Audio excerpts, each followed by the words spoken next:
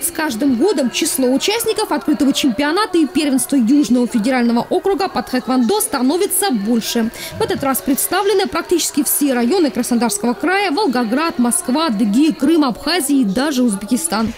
Во время торжественного открытия соревнований сочинские хэквондисты продемонстрировали свои спортивные возможности.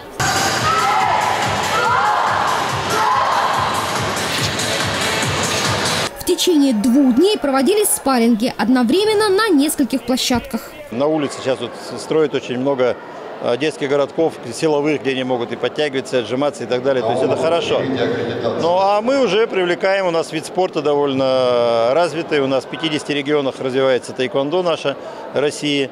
Вот. Занимаются у нас э, порядка 40 тысяч детей по стране. В этом виде спорта юг России представлен достойно. Наши ребята попадают даже в сборную страны. А начинается все с занятий в небольших секциях. В Сочи, например, уже в двух специализированных спортивных школах открыто отделение тхэквондо. Эти соревнования всегда являются у нас как стартом к более серьезным соревнованиям. Потому что уже на следующей неделе мы уже едем сборная команда от города Сочи на Кубок России в город Екатеринбург.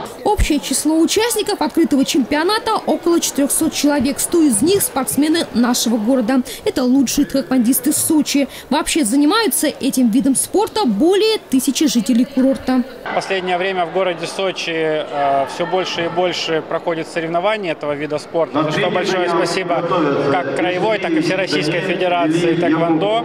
А, и в марте мы будем принимать чемпионат России здесь, в городе Сочи, именно здесь, в Югспорте. Ну а победителями в общекомандном зачете стала команда города Сочи. Елена Овсецина, Алексей Давыдов, телекомпания ФКТ.